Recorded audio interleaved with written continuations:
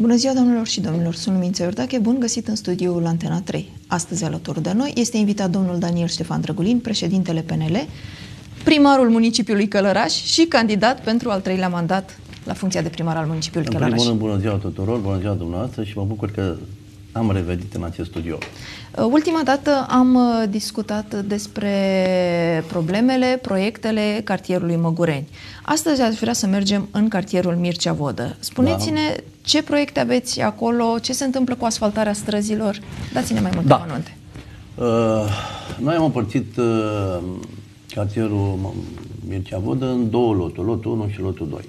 Uh, lotul 1 a fost finanțat din uh, împrumutul, pe, primul împrumut pe care l-am avut și o parte din bugetul local, iar lotul 2 ar fi trebuit să fie finanțat din cel de-al doilea împrumut.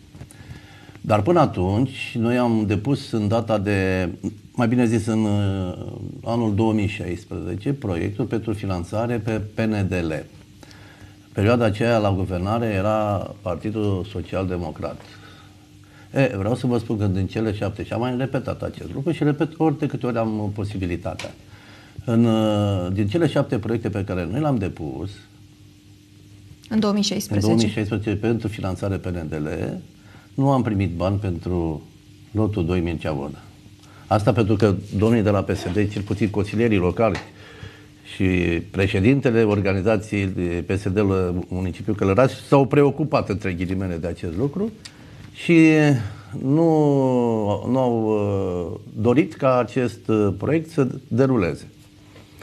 Bun. În cazul acesta a trebuit să uh, uh, ne-am hotărât să facem un al doilea împrumut. Pentru că primul împrumut era pe, pe, pe terminate sau deja avea uh, programate finanțări. Al doilea împrumut uh, pe care l-am uh, propus era vorba de un împrumut de 42 de mii de lei, 4, da, 42 de milioane de lei, asta înseamnă 420 de miliarde, da?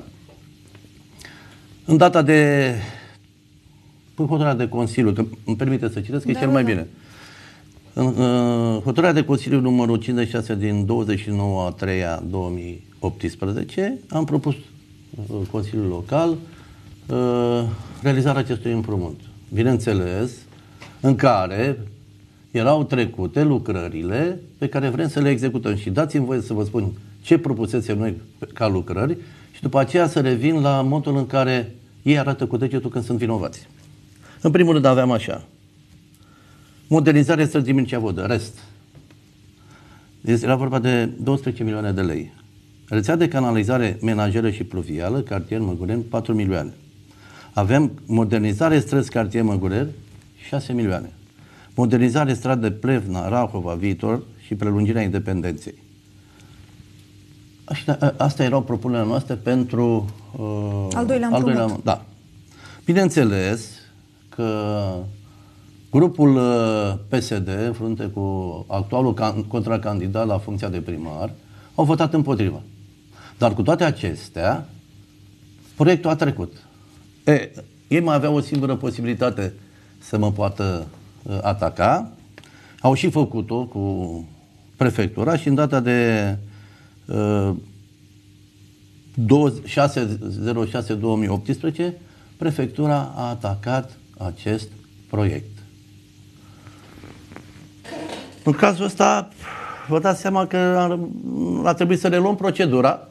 Între timp, noi am dat în judecată, am câștigat, am câștigat și pentru, pentru atacarea proiectului privind uh, tratamentele de țânțari și am, o repet, mai era o singură zi și trebuia să semnăm contractul, trecuse uh, șase luni fără o zi. Și onor prefectul, împreună cu grupul PSD, că n-avea probleme, pentru că toată, toată lumea zice că uh, prefectura este uh, coordonată și de politic, mi-a atacat și acest proiect. E, noi am dat în judecată și am câștigat. Uh, la un moment dat am și spus foarte clar, pentru că nu aveau temei, că dacă nu se astâmpără o să le fac plângere penală. Cred că de frică, de Poate s-au gândit, bă, frate, până la urmă omul ăsta are dreptate și nu este interesul, este al comunității. N-au mai mers mai departe. Dar aceste lucruri au întârziat Bineînțeles, da, da, da. După aceea, am făcut următorii pași. Și am avut prima, al doilea, de fapt a doua hotărâre de Consiliul Local din 2507 2007, 2018, în care am reluat procedura. Tot cei de la PSD au votat împotrivă, dar nu mai m-au atacat în, în contencios. Însă după care au urmat pașii și în 2019, pentru că în 2018 n-am mai avut posibilitatea să uh, intrăm în, în CAIL pentru, la Comisia de Avizare a Împrumuturilor Locale, pentru că eram spre sfârșitul anului și nu mai aveam posibilitatea să fie finanțat, pentru că toate aceste finanțări pentru împrumut se fac la începutul anului la nivel național. E, cu toate acestea, începând din uh, 25.04.2019, s-a, uh, s-a terminat licitația în care Czech Bank a fost desemnat câștigător și ulterior am început să parcurgem pașii pentru a demara diferite lucruri pe care le avem. Și am ajuns în 2020 cu lucruri pe care le avem pe uh, Măgureni, că aici vreau să, să ajung, da? care în momentul în care am terminat licitația, s-a terminat perioada de contestare, i-am dat drumul la lucrare. În uh, cartierul Mircea Vodă, ce se da. întâmplă cu străzile care mai sunt de asfaltat? Străzile care mai sunt de asfaltat, am depus un proiect uh, la, pe PNDL, pe, nu pe PNDL, pe Compania Națională de Investiții, pe CNI, pe CNI da? Suntem în, uh, între primii care l-am depus acolo și avem toate speranțele ca anul viitor să intre la finanțare. Ei fac licitația, ei fac uh, desemnarea uh, constructorului și așteptăm cu mare interes uh, ca uh, CNI să ne spună câștigătorul și ulterior să ne apucăm de treabă. Nu mai avem noi nicio implicare din, din niciun punct de vedere uh, pentru constructor. Toată treaba este la CNI. Cred că, uh, și mai mult ca sigur, finanțarea va începe de anul acesta, ca ulterior cei de la Compania Națională de Investiții să poată demara procedura pentru achiziția constructorului. Pentru licitație. Îmi pare rău că s-a ajuns aici, dacă, uh, și asta nu spun ca să mă apăr, dacă uh, eram lăsați în pace, dacă nu influențau negativ prin uh, faptul, în primul rând, uh, prin faptul că nu mi-a dat posibilitatea prin PNDL din 2016 16. Da, să pot uh, continua lucrările, dacă nu ar fi atacat, la ora actuală cred că eram în, cel puțin în faza de e, achiziție a constructorilor sau, dacă nu existau alte probleme, puteam să începem lucrările. Degeaba zic ei și încă o dată mă repet, să spui că nu, nu, nu m-am ocupat de, de străzile astea când tu, cu bună știință, și când zic tu, mă refer la PSD Călăraș, mă refer la Dulce Marius, care acum este cel mai binevoitor și cel mai interesat în uh, dezvoltarea municipiului, să, produci, să ne produce atât de multe pagube uh, financiare.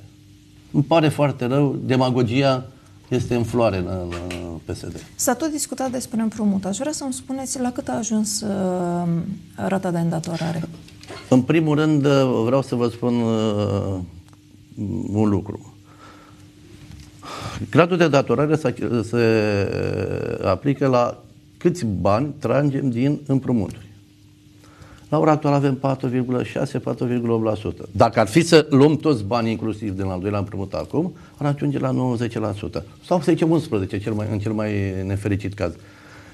Noi putem, la bugetul pe care îl avem, de 144 de milioane, noi putem să uh, facem un împrumut până la 30% pentru investiții și fără, adică, uh, fără uh, grad de naturare pentru cofinanțările proiectelor europene. Dar noi stăm foarte bine, avem 4%, nu ne face, nu, nu ne face nicio grijă din punct de vedere al decontării uh, ratelor pe care le avem. Ce se întâmplă cu Titulescu? S-au finalizat lucrările? La Titulescu, ați văzut că zilele ieri, dacă nu mă înșel, s-a definitivat uh, marcajul. marcajul rutier. Se lucrează la uh, placarea cu piatră de rău a, jardin, a, a alveolelor. Uh-huh. Se aduce pământ pentru spațiile verzi și se începe o verificare de către înaintea recepției pe care o avem. S-a, am văzut pe, în online așa, cum se spune că piatra nu e de calitate, că se fac lucrări de proastă calitate. În primul rând, era într-o zonă unde se placa. Păcat că nu s-a dus mai în spate să vadă că noi am uh, făcut o probă în care era inclusiv finisajul, să vedem cum arată. Bineînțeles că e diferență mare. Dar uh, pentru a, a câștiga capital politic, fiecare încearcă în această perioadă să găsească nereguli, dar nereguli pentru mine care sunt uh, ulterior îndepărtate, pentru că nu nereguli. Omul lucrează, într-adevăr este, poate în construcție totdeauna să face mizerie, dar când va fi gata, eu cred că va arăta foarte bine.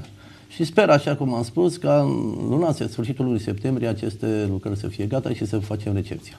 Sunteți președintele PNL Călăraș. Aș vrea să intrăm un pic în sfera politică. Ce da. se întâmplă la Consiliul Județean? Da, uh, acum mă bunește și râsul. Suntem în era concediilor medicale.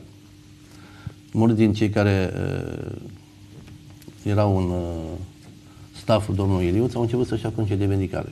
Așa am înțeles. Dar e problema lor. Dacă se îmbolnăvesc așa peste noapte și nu vor să mai lucreze sau au alte motive, e problema lor. Eu o țin, în ultimele șase luni am fost ieri odată și atât de cât au urcat treptele. Nu mă interesează ceea ce se întâmplă acolo din punct de vedere organizatoric și administrativ. Nu am nicio putere. Nu se, nu se bagă politicul în activitatea care se desfășoară acolo. Poate le frică la unii să nu găsim niște lucruri care nu sunt legale. E problema lor. Eu vă spun că domnul Barbu Valentin, care coordonează în această perioadă activitatea Consiliului Județean, are gânduri bune vrea să continuă lucrările, să vadă ce este de făcut și la spital și pe drumurile județene. Nu văd de ce atâta uh, disperare că cineva este înlocuit de altcineva și vrea să, să, să-și desfășoare activitatea poate sub alte auspicii. Pentru că acolo nu puteai să intri decât numai cu cartela care o aveau ei. În fine, sunt multe lucruri și nu vreau să intru în amănunte. Domnul Iliuță spune că prefectul nu avea temei legal pentru emiterea acestui ordin, întrucât domnia sa în momentul de față nu este membru PSD. Foarte bine, dar de ce mai este pe BNR sub sigla PSD? Deci atâta timp cât el nu mai face parte din organizația județea, municipală, respectiv județeană, a PNL Călăraș, atâta timp cât uh, participă la toate ședintele PSD, atâta timp cât merge în teren și promovează PSD, legea partidelor politice parcă știu că interzice acest lucru. În contextul în care noi am avut uh, o hotărâre a biroului politic uh, local, județean, și s-a luat decizia de excludere. Din punctul dumneavoastră de vedere, lucrurile sunt foarte clare. Atâta, atâta timp cât prefectura a, și-a dat acordul și a înaintat documentul de, de încetare, încetare de, de, de a calității lui de președinte, cred că este legal. Uh, în emisiunile viitoare revenim cu proiectele în derulare în celelalte cartiere din municipiul Călăraș. Da. Și vom discuta de Nicolae Titulescu. Pot să vă spun un singur lucru. Nu mi-este teamă de ce am făcut până acum. Tot ceea ce se invocă, cu împrumuturile.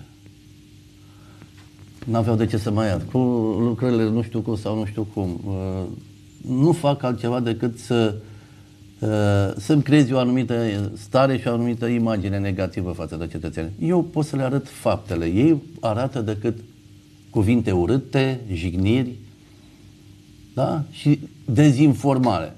Dar mi-ar place să recunoască public da? De ce? Să recunoască că au votat împotrivă și o să întreb, sau cetățenii să întrebe, de ce ați votat împotriva celor două împrumuturi, indiferent că v-ați gândit voi că crea, va crea uh, prejudicii bugetului? Nu. Înseamnă că habar n-are ce înseamnă un buget, habar n-are ce înseamnă un uh, deficit bugetar, nu deficit bugetar, un uh, grad de îndatorare și habar n-are sau uh, nu dorește ca municipiul Călăraș să se dezvolte, să înceapă o modernizare pentru ca cetățenii și noi toți să avem un oraș frumos. Aici se încheie emisiunea noastră. Domnule președinte, vă mulțumesc pentru prezență.